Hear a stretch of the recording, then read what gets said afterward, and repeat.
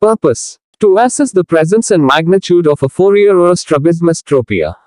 The cover test assesses the presence or absence of motor fusion. When motor fusion is present, that is, when there is no strabismus, the cover test determines the magnitude of the demand placed on a patient's fusional vergence system.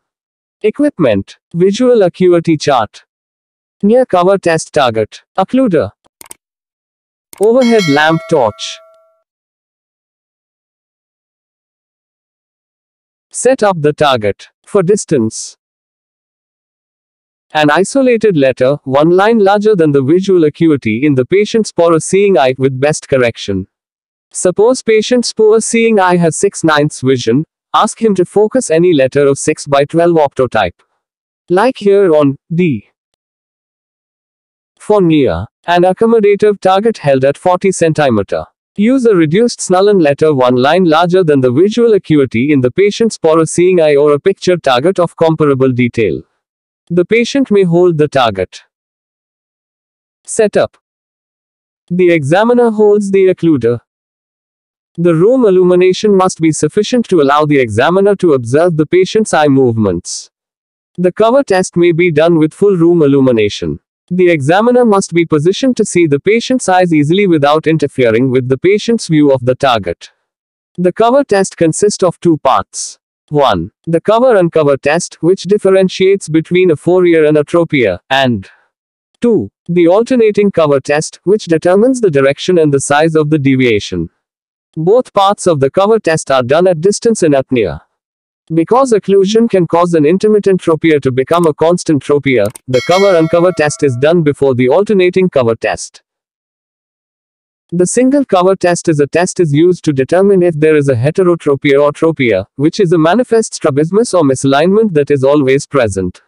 The first eye is covered for approximately 1-2 seconds. As this eye is covered, the uncovered eye is observed for any shift in fixation. The occluder is then removed and any refixation movements are then noted under binocular conditions. If there is no shift in fixation it can mean two things. The patient is orthotropic or has no misalignment, but this needs to be confirmed by seeing the same thing when the opposite eye is covered, or the uncovered eye is the fixating or preferred eye in the setting of a heterotropia. Next, the opposite eye is covered in a similar fashion for approximately 1-2 seconds making sure to wait a few seconds from the prior eye is not to suspend fusion and allow for a phoria to manifest. Any shift in fixation of the unoccluded eye is then noted. If the unoccluded eye shifts out, or laterally, in a nasal to temporal fashion when the opposite eye is occluded, this means that there is an esotropia, such as in this case. If the unoccluded eye shifts in, or medially, in a temporal to nasal fashion when the opposite eye is occluded, this means that there is an exotropia.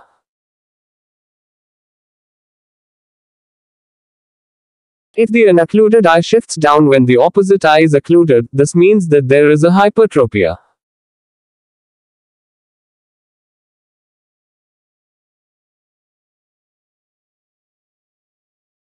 If the unoccluded eye shifts up when the opposite eye is occluded, this means that there is a hypertropia.